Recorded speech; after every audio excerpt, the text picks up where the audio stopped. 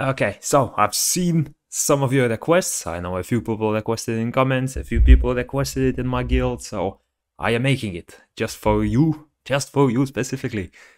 Hero Boiling Waterfall Naraka Guide. So I will cover some of the most important stuff you need to know. So uh, I'm not gonna cover like the best damage dealers, all of the basic stuff like that.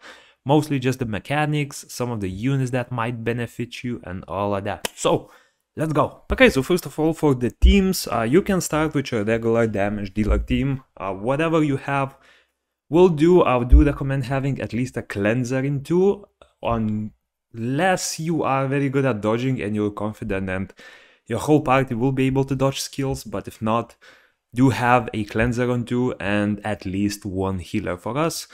We have one cleanser, we have two healers who are very strong, so uh, it shouldn't be an issue. But yeah, going forward with the run, this is a successful how we had. Uh, the first part is really nothing special, just dodge these as with the regular Naraka as they do a little bit more damage and you don't really want to be starting to get burned and the first phase you will encounter will begin at 80% uh, HP, essentially when the boss drops to 80%. So we're gonna wait for that, and yeah, there we go, uh, this one. Previously, you could dodge this ability, but, or rather you could not dodge this ability, but this time it actually strips buffs and gives you block beneficial effects. So uh, previously it was just heal block, now it's block beneficial effects, which first of all, you are not able to deceive attack up, which will hinder your damage a lot, so uh, you can cleanse it, but again, you need a cleanser that does two cleanses at least.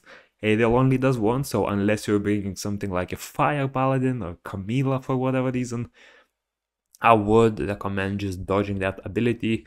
It usually comes at around 80%, so you know when to time it, you know when to have at least like two or three evasion stacks and dodge it. Now, for the shield phase. So previously Naraka only had this 99% uh, shield on himself. Basically, he only takes 1% of the damage you actually do. And uh, he loses that shield once you do a certain amount of damage.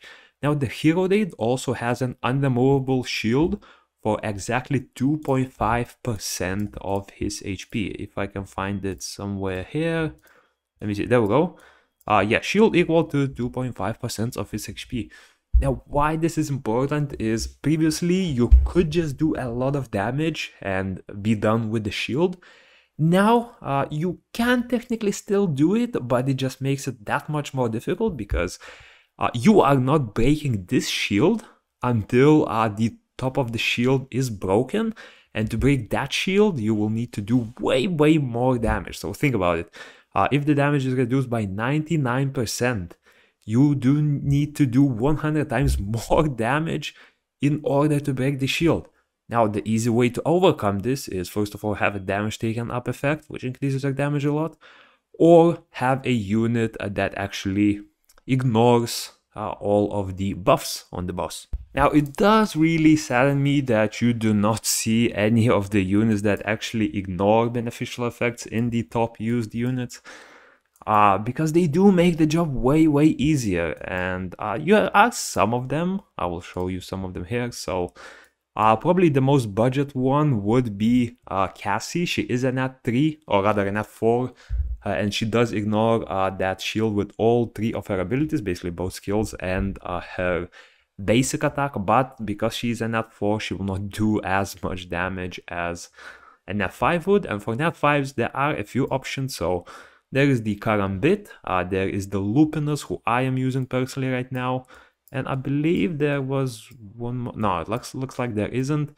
Uh, now, if you do have some of these units, I mean, I personally wouldn't recommend using uh, the Dragon Knights. They're sort of like... They, their abilities don't do as much damage. You mostly want to use units that usually benefit from basic attacks because uh, they are like your secondary damage dealers, uh, whereas uh, Ha or Argen is your main damage dealer that you want to spam with mana. For these ones, they are sort of like secondary DPS that you want just sitting in the background and doing damage as much as they can. And usually secondary DPS uh, work best with a lot of attack speed because they won't be able to use skills as often. But yeah, once you break the shield, Uh, as you can see here, I will show you the effect uh, that these beneficial effect ignoring DPS units have. So uh, let me just quickly slow down the video a lot. Uh, where is it? Where is it? Video. Let me find it. There we go. We got it playing. Bad quality, but that works. So we're waiting for it to disappear. It disappeared. Look at that. Took like half a second in order to finish up uh, the rest of the shield due to the insane damage that you do. And yes, I do not want to have the playing on my network. But yeah, once the shield drops, you have a lot of time to do damage. If you are, if you do have good teammates and you are pretty decently run yourself, uh, there's a good chance you will be able to skip this phase, especially if you use those OP uh, Tiana Verde plus one damage dealer combos. Now for the minion phase, uh, yeah, with this one, it's very annoying because uh, there are uh, sort of a new mechanic in this. So previously, the regular minions only needed uh, the shield removed with any CC effect, which was very easy.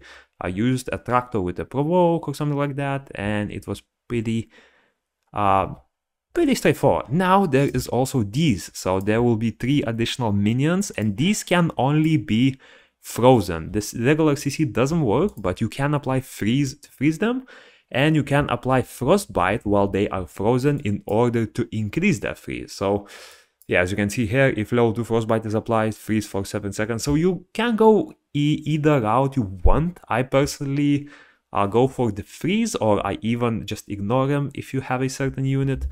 But yeah, uh, some of the units that you will need are someone who can frostbite. Now do not be uh, tricked by something like Narinha, as Frostbite is very bad and it will not work for you at all. But yeah, for units, I mean, there are single targets like uh, the Water Imp.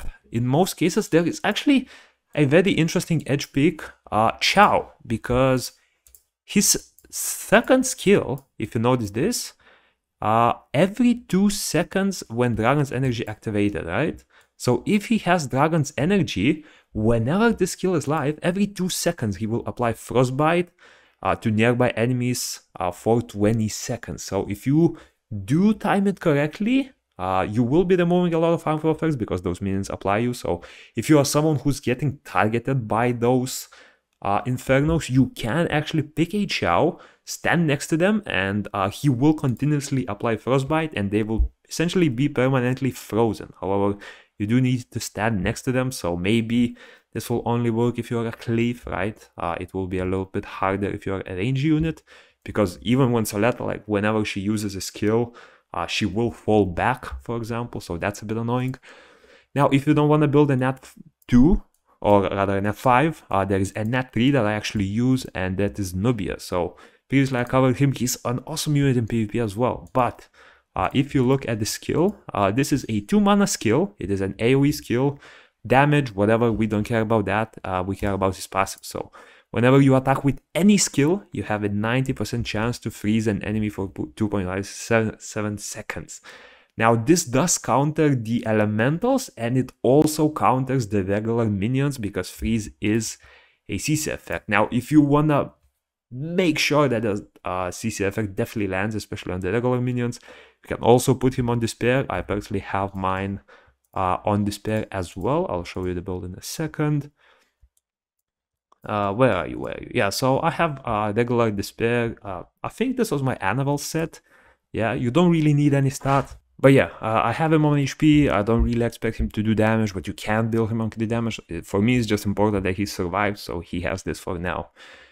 Uh, but yeah, coming back to the video, uh, you will notice, especially if you are someone who's getting targeted, right? If you see that the minions are coming to you, uh, the problem is you will be stunned for quite a long time. So yeah, if you see minions coming to you, especially more than one, uh, one unit that I would recommend is an Anaril. So she can defense break, which can help with a little bit of damage on a wave of minions.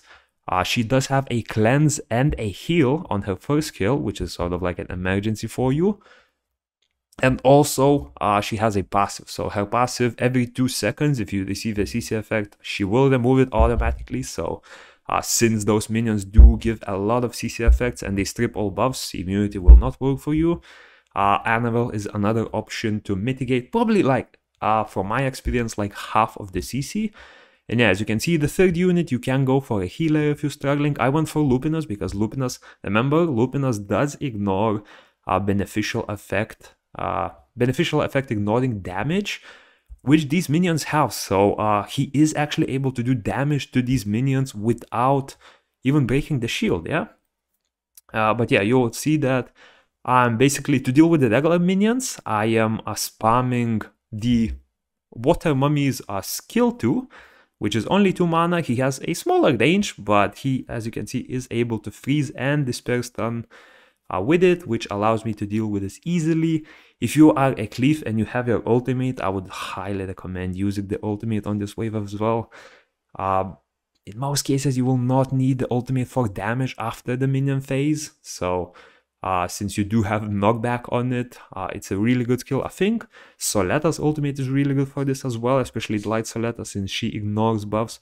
But yeah, as you can see, uh, the minion started targeting me and whenever I get stunned, my uh, Anvil simply cleanses it, at least like half of the time. And whenever I get low, I just start healing a bit. Yeah, so let's wait for a stun. Maybe we can see it. Am I getting stunned? Am I getting stunned? Yeah, my Lupinus dropped quite a bit. But yeah, that's how I deal with it. As you can see, you can just freeze them like that if they are giving you trouble. But uh, another pro tip, this is sort of not for dealing with them, but for the whole team, especially if you have it pre-made. If you see a person getting all three Infernos, don't slack, help them. Uh, Unfortunately, I don't think that's what I did in this run because if someone doesn't have an animal, for example, it's it's very hard for them to deal uh, with those minions, right? Like, if you have a right team, like uh, what something like I showed you, you will be able to deal with some minions, maybe not the whole wave, but yeah, especially if there is like no fire uh, in the middle, right? Unfortunately, this run there was fire, but uh, another great side is and I know some people mistake this, the middle doesn't actually burn you. Uh, it does seem like there is fire, but there isn't actually. So you can stand in the middle and you can just simply spam the CC effects to not only clean your wave from those shields, but also uh, clean all the other waves because minions will start from there. So if you have uh, a CC unit with very high range, like a Traktor's Provoke skill 1, or something like a Louise uh, the Wind Paladin skill 2, who not only provokes everyone in a very big range, but also gives you a shield, gives you a attack buff, gives you a heal, all of that. Just stand in there, try to take a wave or two, and it will make, especially for whoever has to deal with those uh, infernos, it will make the wave a bit easier, right? So yeah, and apart from that, uh, really there isn't much to cover. I think I covered the shield phase, I think I covered the uh, minion phase. Apart from that, just do damage. Please don't shy away from using uh, damage mitigation units. Uh, you're not only helping yourself, but your whole party as well, because as you can see, if you are someone who lacks damage a bit, it's gonna, hard, gonna be hard to break a shield. And as you can see, again, whenever that drops, the shield will become, it, it just destroys instantly. So yeah, uh, very highly recommend bringing at least like two units who ignore uh, damage effects, right? Potentially three would be best, one for each. A Lupinus Gambit, if you really don't want to invest a lot, bring at least a Cassie, uh, the Dark Cowgirl. But yeah, that's about it for uh, the highly requested guide. And yeah, peace.